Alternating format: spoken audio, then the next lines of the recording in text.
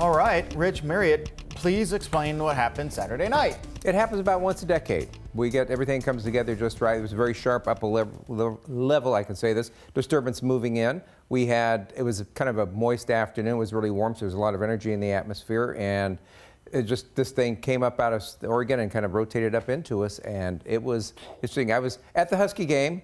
Oh, you were? Yes, oh, I, I was. I, I was you, at the uh, Husky game. It was really media. interesting. Probably one of the most interesting parts of it was as soon as they put up that extreme weather warning and asked people to leave their seats, you could not get anything in or out on your cell phone. The bandwidth was just gone. Wow. I mean, I was trying to take pictures and get stuff out of there, and it was just it was impossible for a while. Fascinating. Finally, my battery, my phone was like soaking wet. We we maintained our seats, which were not undercover because we weren't on the middle benches. So, right. but this is a friend of mine was with me. Uh, uh, Corey Vogel took this shot right in the middle of the thing, which is pretty impressive. You'll notice the people that are still left in the seats are sitting there undercover. Hardcore so, Husky fans. Yeah, it was almost a two and a half hour delay. Yeah. It was pretty impressive, and we actually I hate leaving before a game's over with but at halftime, which occurred at 11:30, yeah. mind you. We also have an alarm clock that comes into our bedroom at 7, regardless of what time we went to bed. so we, we made the decision it was maybe a good yeah, idea to go home at that point. Call. As it turned out, it was a it was a good choice, sadly. But well, yeah. So nothing like this on the horizon right now. We might see a couple of thunderstorms around this afternoon, but it's not going to be why the widespread kind of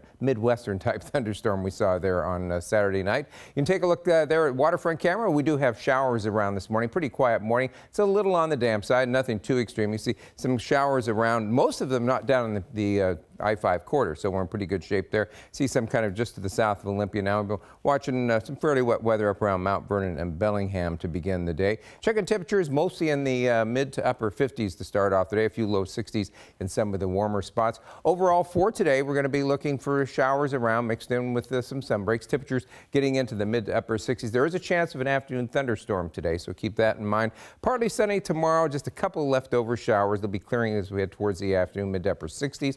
Wednesday, morning clouds and sunshine, upper 60s and low 70s. Pushing into the mid 70s Thursday, but we'll see increasing clouds. Should see some showers overnight Thursday, but by Friday, partly sunny, just a couple leftover showers again, mid to upper 60s. Increasing showers in the afternoon on uh, Saturday and looks like increasing rain as we head towards Sunday and temperatures over the weekend, upper 60s and low 70s. A little below our normal highs, which are actually still in the mid 70s.